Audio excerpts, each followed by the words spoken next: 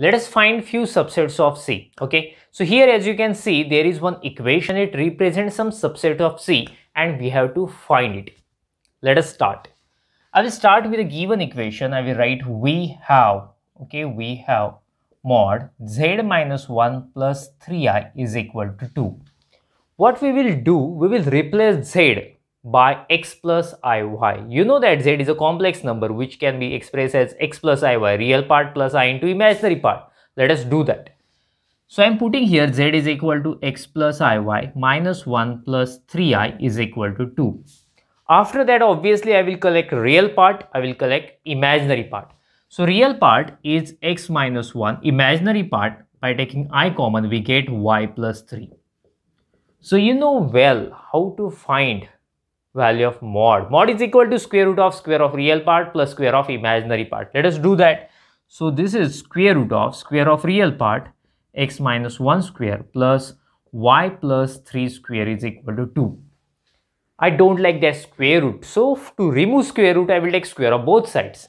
So therefore, what we get x minus 1 square plus y plus 3 square is equal to 2 square. But this represents an equation of circle. You know that if you have x minus a square plus y minus b square is equal to r square, then this is a circle with center. What is its center? a comma b. And what will be its radius? Radius is r. Getting? So it also, it is a circle. I will write.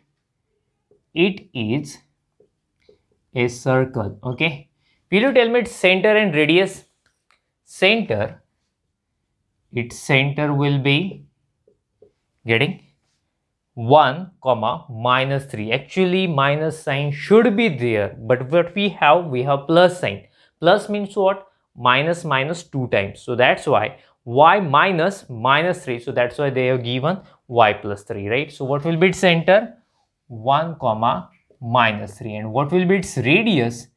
Radius 2 square is there. And what we have in the standard form r square. So its radius is 2. Let us draw that circle here. Okay. So here we have a x-axis, real axis and this is imaginary axis. 1, 2, 3, 4, minus 1, minus 2, minus 3, minus 1, minus 2, minus 3, minus 4, minus 5, right? So what is the center? 1, comma, minus 3. The center will be here. 1, comma, minus 3 right? And what is it say uh, radius? Radius is 2 so 2 on this side 2 on that side. On this side also we go up to 2 and here also 2 so circle will be like this. I am drawing a rough sketch. I hope you can understand. Okay so this is a required circle. Make a screenshot of it. After that we'll go for a next example let us discuss this second example. Okay, what have they given? Mod z minus z naught is equal to mod z minus z naught bar where imaginary part of z naught is not equal to 0. z represents any complex number. z naught means any fixed complex number. We can take it as a x naught plus iy naught. Okay, and we have to find it represents circle, parabola, ellipse, straight line or any region. Okay, we don't know. Let us start. What will I do? I will start with a given thing. We have mod z minus z naught is equal to mod z minus z naught bar. So you know that what we do, we replace z by x plus iy. z naught is a fixed complex number, so I will replace it by x naught plus i y naught. Let us do. So therefore mod x plus iy minus x naught plus i y naught is equal to mod x plus iy minus z naught bar that means complex conjugate of z naught which will be x naught minus i y naught. So you know well what we do after that we collect real part, we collect imaginary part. What will we get? So therefore mod real part x minus x naught plus i imaginary part y minus y naught right and here real part x minus x naught plus i imaginary part y minus minus plus y plus y naught.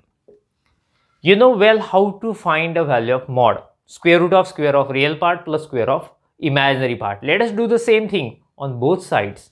So therefore square root of x minus x naught square plus y minus y naught square is equal to square root of x minus x naught square plus y plus y naught square. I don't like square roots. I think you too. So that's why to remove square root, I will take square of both sides. So what will happen? Square root will get cancelled and we will have x minus x naught square plus y minus y naught square. On that side also, x minus x naught square plus y plus y naught square, right? See on both sides we have a same bracket x minus x naught square, right? So we can cancel that bracket from both sides x minus x naught square. So we will have by cancelling first brackets y minus y naught square is equal to y plus y naught square. So we can expand those brackets now by using a plus b and a minus b bracket square formulas. So therefore y square minus 2yy naught plus y naught square on that side y square plus 2yy naught plus y naught square. Tell me is there any scope to cancel few terms? Yes definitely y square y square we can cancel from both sides we can cancel y naught square also. So what will be the remaining part? On this side simply we will have minus 2yy naught on that side plus 2yy naught. Let us shift both terms to one side I'm shifting this minus y y naught to that side, then there will be addition. So obviously 4 y y naught.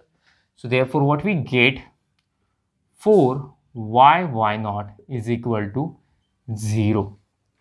Right. So see I'm going to shift y 4 y y naught on that side. So y is equal to 0 upon 4 y y naught. So obviously 0 okay they have mentioned imaginary part of z naught is not equal to 0 that means if what is imaginary part of z naught y naught so y naught is not equal to 0 so definitely you can shift to that side okay or otherwise in a different way if you are thinking three numbers are there. The product is 0 that means at least one of them is 0 4 cannot be 0 why not? They have mentioned it is not equal to 0 so there is only one possibility that is y0 right? So here we are having y0 y0 represents an equation of x-axis right? So this is x-axis. So what we get? We get x-axis here okay? So this is x-axis real axis it is better to say. So real axis it represents a real axis right? So yeah problem is over. Make a screenshot of it then we'll stop. Thank you. Bye bye